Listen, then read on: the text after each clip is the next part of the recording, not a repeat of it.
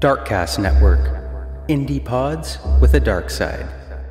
Hey y'all, this is Ash from Creepy Tapas Podcast. There are a few places selling stickers these days, but I found a small business on Etsy called Snarky Sticker Lady, and I am in love with her stuff. We all love snark around here on the Darkcast Network. When I looked at the shop, I was surprised because she has some really funny stickers. The owner, Allison, knows that pride is not a sin, and she designed a line of stickers for friends of the LGBTQIA community. Allison has said of her own business, I love stickers. I love making stickers. I love putting stickers on everything. I started making stickers because I wanted some snarky, smart ass stickers, and nobody had them. I need my sarcastic flag to fly, honey. So after making some snarky stickers, I started making lots of other types of stickers too. As a loyal friend to the LGBTQIA community, I wanted some stickers to show how I feel, so I made them. Ha! Maybe you'd like to show how you feel too. All sticker designs are welcome in my shop. Just send your ideas in. All of Allison's stickers are vinyl and laminated, so they are water resistant and will last a really long time. Check her out on Etsy at etsy.com shop Snarky Sticker Lady. Hey, but up boop boo, I wanna get snarky with you, Snarky Sticker Lady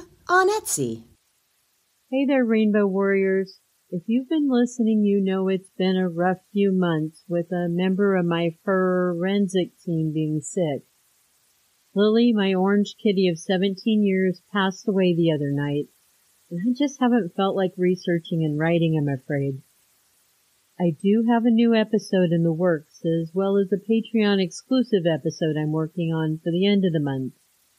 I just need a few days, I think, to get out of my funk and focus on the show. In the meantime, I'm re-releasing an episode I did in my first season. The case is that of Matthew Shepard. This year will be 25 years since Matthew Shepard was murdered.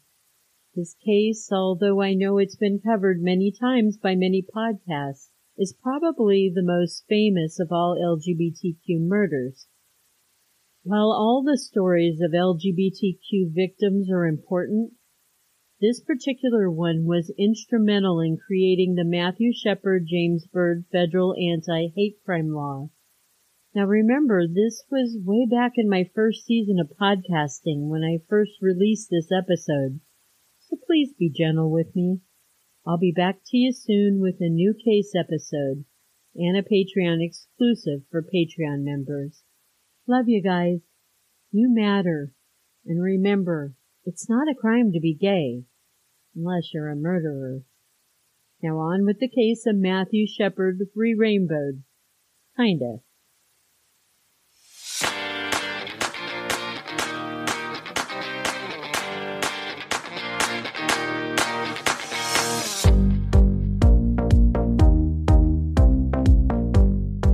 Hey there, Rainbow Warriors. Thank you for tuning in for another episode of Beyond the Rainbow True Crimes of the LGBT. I'm your host, CJ. This episode was suggested by a member of our Facebook group named Chloe. Thanks, Chloe. This past October marked 21 years since a college student named Matthew Shepard was driven out to a cattle field. He was driven out by two young men about his age. 21 year old Matthew was bound to a pasture fence, beaten, set afire, and left out in the cold to die in Laramie, Wyoming, the night of October 6, 1998. This story is the foundation to two stories with the same ending. The story is of Matthew Shepard, his death, and a little bit about the trial of his murderers. The other part of the story is what happened when a gay journalist, Stephen Jimenez, goes to Wyoming he does some research, interviews some people, and he writes a book called The Book of Matt. What Stephen Jimenez tells about the killer's motives is far different than the motives that were first presented. What Stephen Jimenez tells about Matthew Shepard has people with hateful agendas praising Matthew's death. It has some bloggers writing that Matthew Shepard was nothing more than a meth peddling sodomite being used as an LGB martyr post mortem. So I say, let's listen to the stories and cut through the crap. Rainbow Warriors, why was Matthew Shepard killed? Matthew Wayne Shepard was born December 1, 1976, in Casper, Wyoming. He was a Sagittarius. Matthew, Matt, was the firstborn of two boys to Judy and Dennis Shepard. Matt was kind, sensitive, and soft spoken. He went through the Casper public school system until his dad accepted a job in Syria as an oil safety engineer. Matt spent his senior year of high school at the American School in Switzerland. There he was able to study German, Italian, and theater. Fashion and music were some of Matt's obsessions in his leisure time. After graduating from high school, Matt, who had known about his sexual orientation for quite a while, came out to his mom. His mom said she had known and not to worry. His parents loved him no matter what. Not long after high school, Matt took a trip with a few of his friends to Morocco. I think I should probably mention Matt was a petite young man. He was only five two and maybe a hundred pounds wet. On this trip to Morocco, Matt was attacked by some local men. He was robbed, beaten, and raped. The police in Morocco never found the guys who did this to Matt. After the attack, Matt suffered from depression, anxiety, and even thoughts of suicide. Matt was in therapy for these conditions and he took antidepressant medication. Matt went back to the United States and he lived for a short time in Raleigh, North Carolina. There he attended a theater school before he returned to Casper, Wyoming. He enrolled at Casper Junior College and he met a vibrant lesbian named Romaine Patterson. The two hit it off and they moved to Denver, Colorado together. Matt decided to move back to Wyoming in 1998. Laramie, Wyoming, to be precise. He was still having anxieties from his attack in Morocco, and he thought maybe living in a smaller town would make him feel safer. So Matt enrolled at the University of Wyoming, where both of his parents had attended college. Matt decided to study political science and foreign affairs. He knew he wanted to do something in the field of international relations. At 21 years old, Matt became active on campus and joined the college's LGBT Student Alliance. October 6, 1998, after a meeting on campus for the LGBT Student Alliance, Matt went alone to the Fireside Lounge to grab a beer. This was not a gay bar, as Laramie, Wyoming had no such thing as a gay bar. About an hour later, Aaron McKinney and Russell Henderson walked in. Both of these guys were high school dropouts, with Russell being the more passive of the two young men. The two gathered their coins and they paid for a pitcher of beer. Once they got their pitcher of beer, they went and started shooting pool. Not long after that, they engaged Matt in conversation. At some point, either Matt told the guys he was too drunk to drive home, or the guys just offered to give Matt a ride home. Russell got behind the wheel of Aaron's dad's truck. Then Matt was in the middle, and Aaron was in the passenger seat. Apparently, Aaron had had his driver's license revoked and couldn't drive. They started driving when Aaron pulled out a pistol and he ordered Matt to give him his wallet. Matt refused at first, and this caused Aaron to hit him in the head with the pistol butt. Matt handed over his wallet that only contained 20 bucks. Aaron had popped Matt in the head with his pistol butt a few times. They drove Matt out to a pasture on a cattle farm. Aaron pulled Matt out of the truck and he told Russell to grab the rope in the truck. Aaron dragged Matt to the fence and he yelled to Russell, Tie him up. Russell tied Matt to a deer fence while Aaron kept beating on Matt. Aaron said he punched and pistol whipped Matt up to 18 times, and they burned him with cigarettes. Russell chuckled a little when Aaron was beating on Matt, but it could have been from nerves. At one point, Russell tried to stop Aaron from attacking Matt, and Aaron hit Russell in the face with the pistol butt. Russell was pissed, so he went back to the truck and he left Aaron alone with Matt. Aaron continued to beat Matt in his head so severely it fractured his skull. Aaron took Matt's shoes off and he lit Matt's clothes on fire. Aaron then threw Matt's shoes in the back of the truck and got in. Russell and Aaron drove off. The two young men in the truck were headed towards Matt's apartment to steal whatever they could find there. They stopped in Matt's neighborhood and they were accosted by two teenage boys that were out vandalizing cars. A fight ensued and police came. They took Russell and Aaron and the two teens into custody. At the pasture, Matt was unconscious from the beatings he took. Somehow the fire on his clothes went out and Matt was left for about 18 hours in the cold, tied to the fence. Matt was found by a mountain biker who was trying to maneuver his bicycle over some rocky terrain. The cyclist said he thought Matt was a scarecrow at first, and then he got closer and he could see it was a real person. He started to yell at Matt to get him to move, show some sign of life, but Matt wasn't moving. The cyclist ran for help to the nearest house he could find to call 911. A sheriff's unit responded, and Deputy Reggie Fluty got out of her car and went to check on Matt. At first, because of his small frame, she thought he was a child. As the deputy ran up to Matt, she spooked a deer who was laying next to him. Now that's a really small detail, but possibly a very spiritual one for some. Deputy Fluty felt that the doe was watching over Matt until help came. When the deputy reached Matt, he was still unconscious. His face was bloodied, other than the trails from tears that were staining his cheeks. She called for assistance and an ambulance.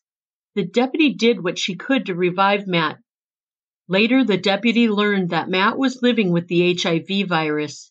The deputy had a bunch of little cuts all over her hands from fixing a wire fence at her home.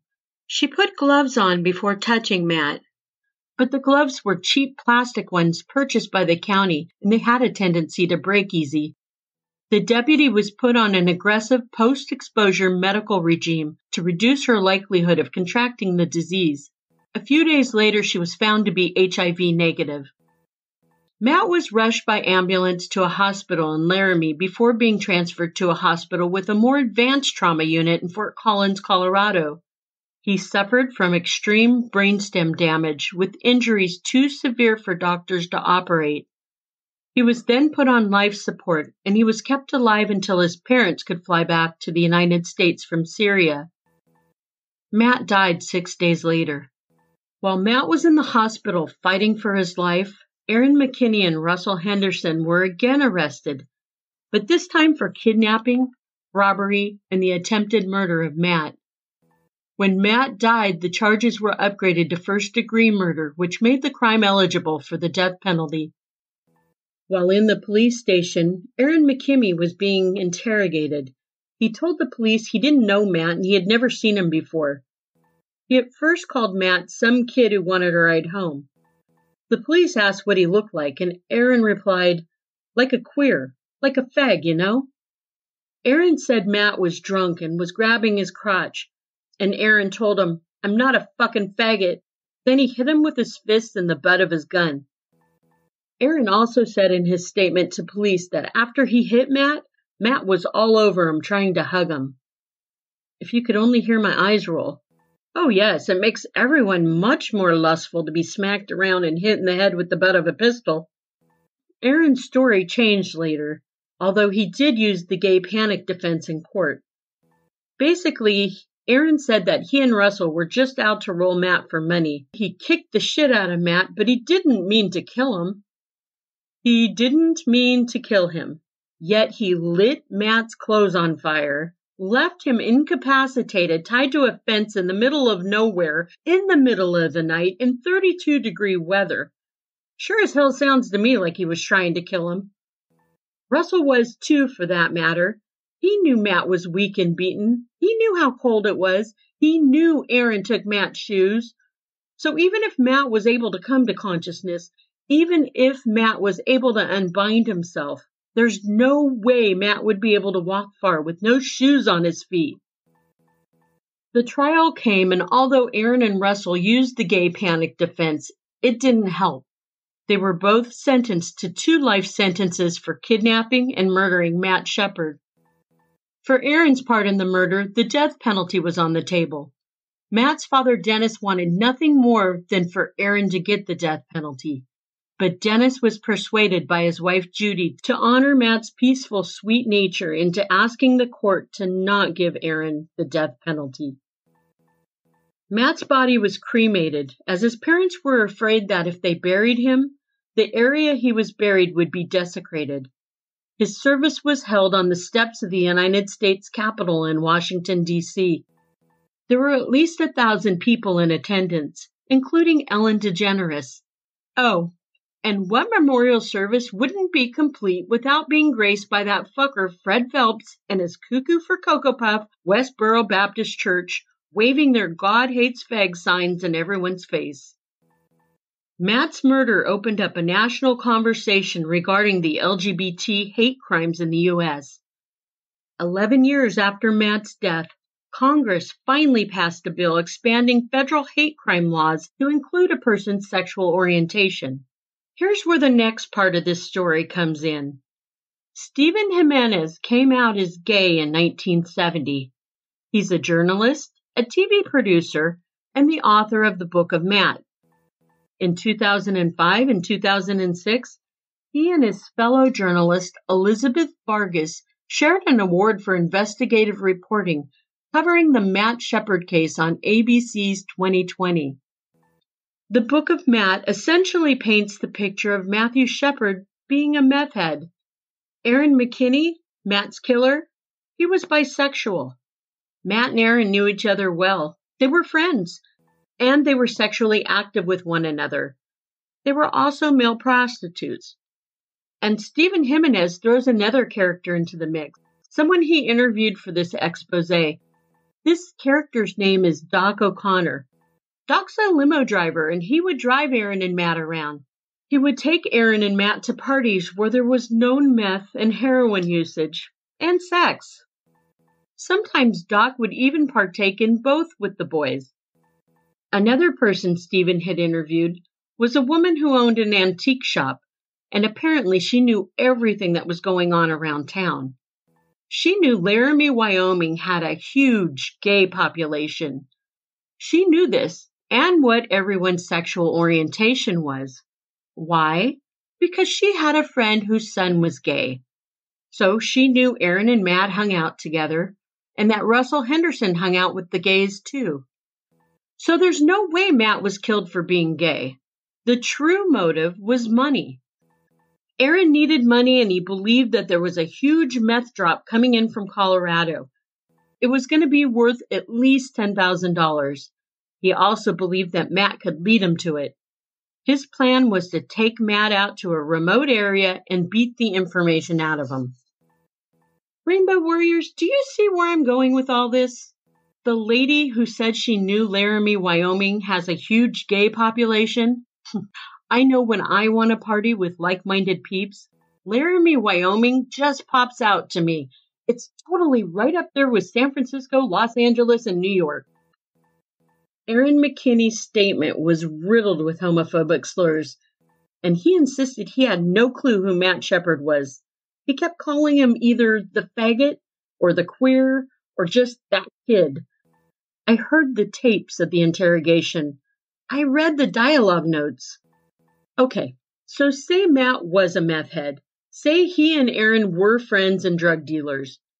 It wasn't like Matt had the drugs on him. If he's your friend and sometimes lover, why torture him like that?